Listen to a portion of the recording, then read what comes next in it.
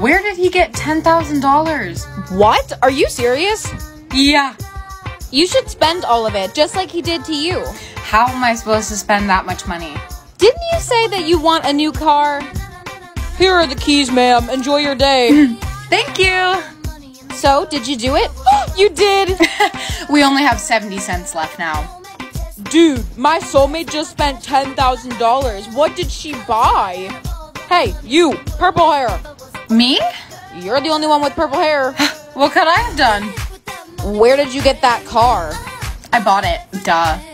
How? What money could you have to buy a car? My dad's rich. I don't believe anything you're telling me. And why not? You've been wearing the same ugly pair of Converse all year. Ah. I think I know why you were mad about the soulmate money. I don't know what you're talking about. Oh, really? Because I think you do.